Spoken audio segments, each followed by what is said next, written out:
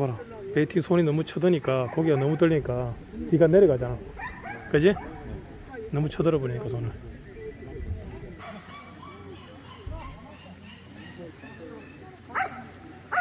자 그냥 들어가도 봐. 이리 봐. 장구야. baiting을 높이 하니까 몸이 뒤로 체중이 가버리지. 다리를 팔자로 오니까 어떻게 하노? 걔도 삐딱하지? 손을 잡고 이 손 흔드니까 어떻게 해? 이손 보고 자꾸만 걔가 그걸 잡으려고 하잖아. 이렇게 이렇게 하니까. 그러니까. 그거 너무 빨리 가서 앞개를 앞개 부딪혀 버린단 말이야.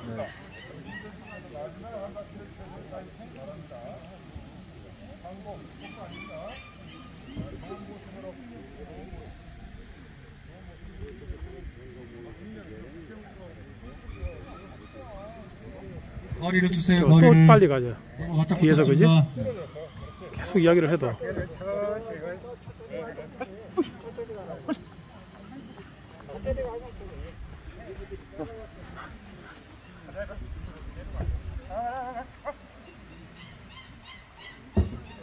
그러니까 고개를 들어야 된다는 생각을 자꾸 해서 너무 들어버리니까 오히려 중심이 자꾸 뒤로 가버리잖아. 너무 뜨니까. 어.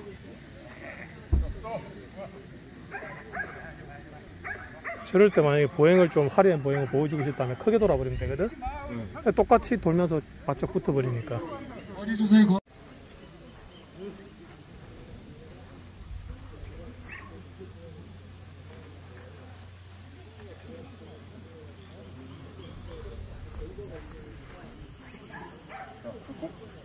코너까지 한 번만. 빨리 가면 안 돼요. 빨리 가면 안 돼요.